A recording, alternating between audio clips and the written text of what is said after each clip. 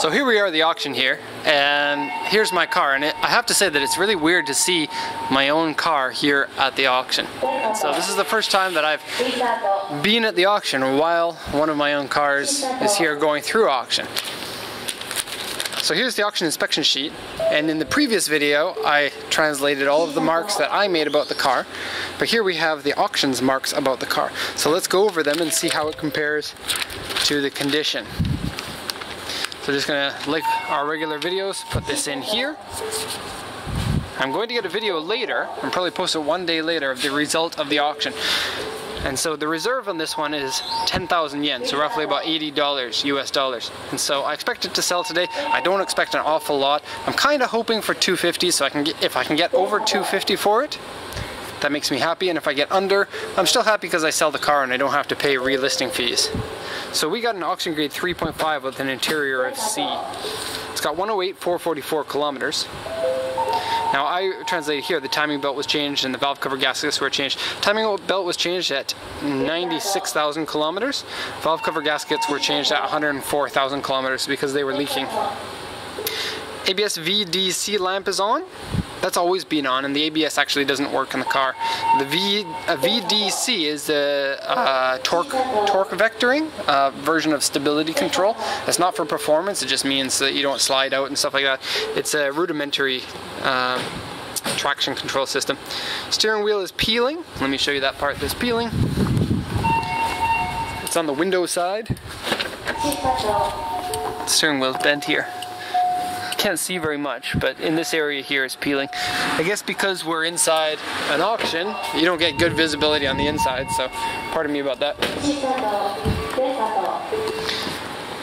Okay, interior dirty, really dirty to be honest. Underneath the battery has rust. I didn't ever notice that before.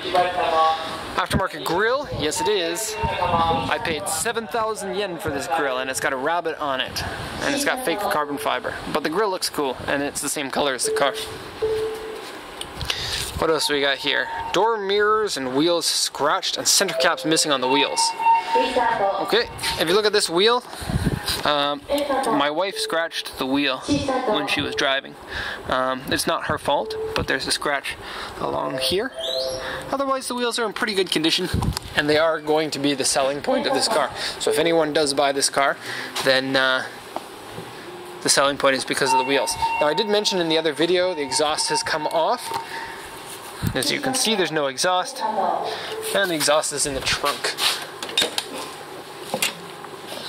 And so you get a nice Apex exhaust that has been dented here from all of the times that my muffler couldn't make it over the parking stopper. The car surprisingly sounds almost the exact same whether the muffler is on or off, so it's a little bit nuts. Let me just walk around here. Okay, fender arch is modified. Now, they do have this gummy material on here, and this is something I didn't mention before.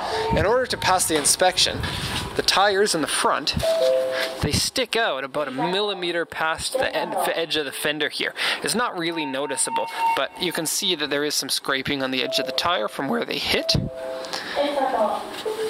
And so they said that they the fenders have been modified. And usually what that means is they pinch in the fenders or roll the fenders to fit the larger tires. These ones haven't been rolled, but it has been moved, bumped in a little bit by the tire. And so I think that's what uh, they thought it was modified. The rear is actually just barely fit. And the fronts don't look very much different from the rears here. The rears do rub too though.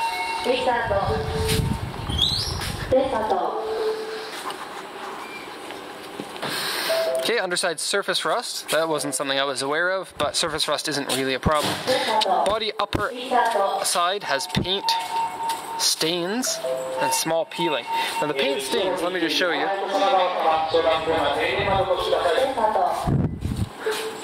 That's not one. Like right here. See this spot here? That's something that you have to polish off. And there are a few of those in various areas. This one actually comes from my daughter putting rice on the hood.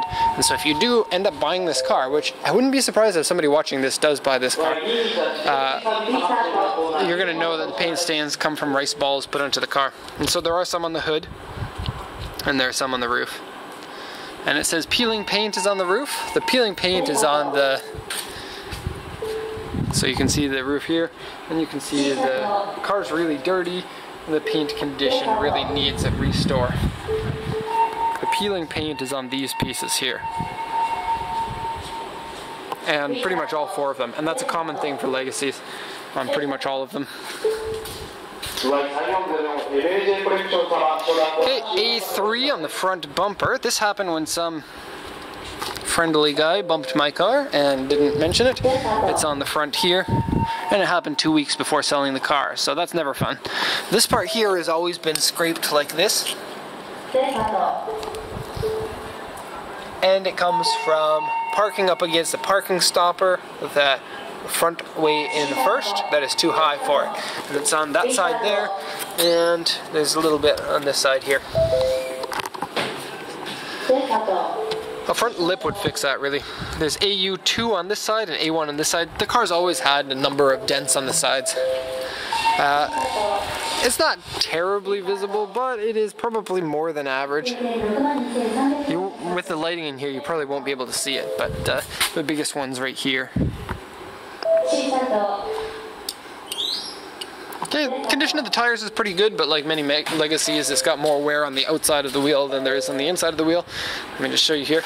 The tires are Achilles tires, and on the outside here, you only have about one millimeter of tread, two millimeters of tread. On the inside here, you've got about four or five. I believe they are DOT tires though on there, but they're probably going to need to be changed. Okay, an AU2 on the back. So AU2 is a scratch and a dent. Right here, dent, dent, dent, dent, and super dent. Things that they didn't catch are the roof has scratches in the spoiler here, a number of them right there. And there are scratches in the front pillar here. One, two, three, four, five. I have no idea how somebody scratches this. First time I've ever seen something like that, but we bought it with that on it already. Okay, interior is dirty and because it's dark you won't be able to see very much, but I'm going to start the engine so you can see how cool the engine sounds no exhaust.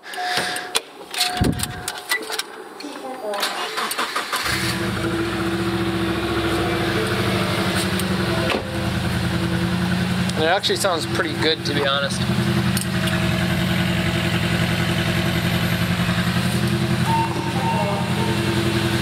Okay, now the car's going through auction in about 30 minutes here. So we'll see how it goes. It's gonna be weird.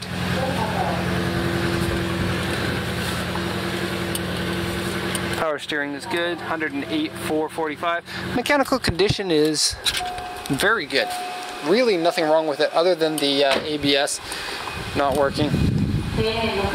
Cloudy headlights probably should have been mentioned on the auction sheet, but I guess they were a little bit nice on me with the auction sheet.